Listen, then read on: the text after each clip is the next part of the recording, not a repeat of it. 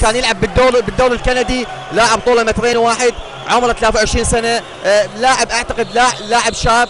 آه، يعني يمتاز ولو بشيء عن آه، دكة بدلاء نادي الميناء اللي نشاهد بيها ال- اللاعب مصطفى جاسم أفضل لاعب بالدوري. توزيع ال- اللاعبين المنتخب واللاعبين البارزين بالأن 14 24 17 الفارق سبع نقاط ممكن يخلص و ما تحسم لغاية الثواني الأخيرة. أكيد يعني لل... في ظل المستوى اللي قدم الميناء وأيضا فريق الشرطة يعني فحاول على سلة فريق الميناء من أجل وضع نقطتين وهنا جاسم لتعود الحيازة لفريق نادي الشرطة عن طريق آه، اللاعب جيستن حاول جيستن هوكنز مرور. آه، ال- الميناء أفضل أفضل لحد الآن. بالفعل وبالتأكيد هو أفضل لكن لا زال. لا زال ال inside عمر يبحث عن آه، التمرير. جميلة كانت من ويمي روز اللاعب الأمريكي اللي يضع ثلاثية يحاول أن يرد وبالفعل جاستن هوكنز يرد على ويمي روز. روبرت براون أداء أكثر من رائع لهذا اللاعب. أداء أكثر من رائع. نعم سجل 18 نقطة المرحلة الثانية وقدر يسجل. وهذا يصنع الفارق لثلاث نقاط. نشاهد هاي الثلاثية آه اللي جاستن هوكنز لكن هذه المرة يخطئ قليلا ما يخطئ السلة جاستن هوكنز. ونقطتين ونقطتين للشرطة ورميه اضافيه نقطتين للشرطة. دقيقتين يعيده المدرب. آه، لكن تكلمت مع اللاعب حيدر جمعة. ولا هجومية ومثل ما قلنا ال time out هو الحل. لكن أعتقد إن ال coach اسد علاوي تأخر آه، ممكن آه، الميناء يطلب الوقت المستقطع. قدر 64 اللاعب جاستن لاعب نادي الشرطه اللي نشاهد بالإعادة اللقطات اللي قدر يسجلها يعني شاهد انه هو- إنه بال inside. طد قصيرة كانت من آه، جاستن هوكنز من جديد جاستن يحاول ويسجل. نقطة 30 لجاستن هوكنز. ولا زال هناك سهولة عند لاعبين الشرطة. بال بالمسافات المتوسطة يعني شاهد إنه لاعب طويل القامه ما قدر يمنع يعني لاعب مترين تسعة مت أو آه، ما قدر تعود من جديد لجاستن هوكنز. لاحظ ال rebound الدفاعي لفريق الميناء مسجل 28 نقطة. وهاي نقطة 29 افضل أفضل مسجلين. أما أفضل مسجلي نادي الميناء لا زال اللاعب براون روبرت براون ب 25 نقطة.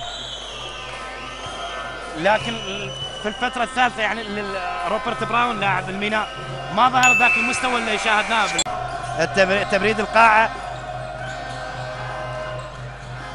محاولة لفريق الميناء.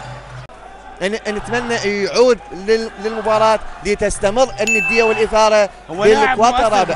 نعم لاعب منتخب وطني لاعب طويل القامة. لكن اليوم ما كان نعم آه، استا... بالدرجة اللي كان يتمناها نعم أستاذ جمال. أسعد. بالموسم الماضي واللي قبله عندما يكون بيومه الميناء يقدم مستويات جيدة وهو كان له سبب رئيسي بتأهل الميناء للمباراة النهائية آه، بسلسلة مباريات ال playoffs في الموسم الماضي.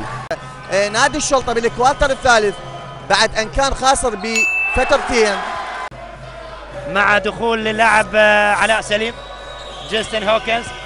جاستن يحاول ونقطتين علي يحاول على السلة علي والضيع على أيضا هذا عند. فريق نادي الشرطة بأنه بانه الفريق هو مسيطر على المباراة وهو مستلم. time ضاغط على نادي الشرطة. أعتقد إذا ما قدر أن يقطع كرتين ثلاثة ويسجل فد ست نقاط الع- العودة للمباراة. يعني الفارق ليس فارق فارق فارق كبير. أربعة 14 نقطة. لكن مع ثلاثيه مع جاستن لاعب فريق ال- الشرطة. ال- الميناء في الأوقات الأخيرة ممكن يعتمد على الكرات المباشرة. يقدر. جاستن على الرمية الثانية. ممكن جاستن هوكنز. هل سيسجل بالفعل؟ ينجح في التسجيل جاستن هوكنز. علاء سليم. جاستن محاولة تبقى الحيازة لفريق الشرطة وثلاثية أكثر من رائعة لجاستن هوكنز. نجم المباراة. 40 نقطة لحد الآن. نجم المباراة. أعتقد واحد مع محاولة فريق الشرطة جاستن هوكنز. بينه وبين روبرت براون جاستن يحاول إيجاد المساحة للتمرير أو الدخول على السلة لجاستن هوكنز يحصل على خطأ.